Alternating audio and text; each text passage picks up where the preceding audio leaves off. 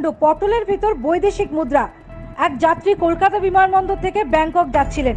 গোপন সূত্রে খবর পেয়ে শুল্ক দপ্তরের আধিকারিকরা তল্লাশি চালান। তল্লাশিতে তার ব্যাগ থেকে বেশ কিছু পটল পাওয়া যায়। পটলের ভেতরে দেখা যায়, কয়েক হাজার বৈদেশিক মুদ্রা ভরে নিয়ে যাচ্ছিলেন ওই ব্যক্তি এবং ব্যক্তিটির প্যান্টের বেল্টেও সোনা পাওয়া যায়। কলকাতা বিমানবন্দর থেকে ওই ব্যক্তিকে গ্রেফতার করেছে police. Bureau report United India News.